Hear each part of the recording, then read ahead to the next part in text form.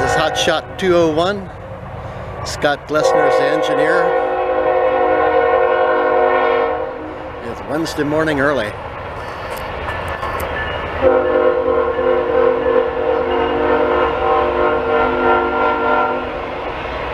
Good morning, Scott.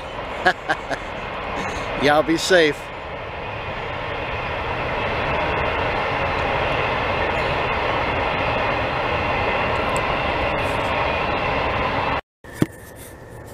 Oh man, I wish that wouldn't be so dark. Cotton picking.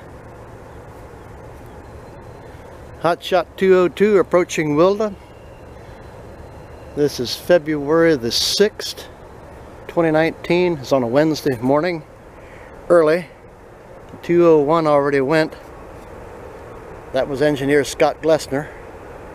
I'm not sure who this is here.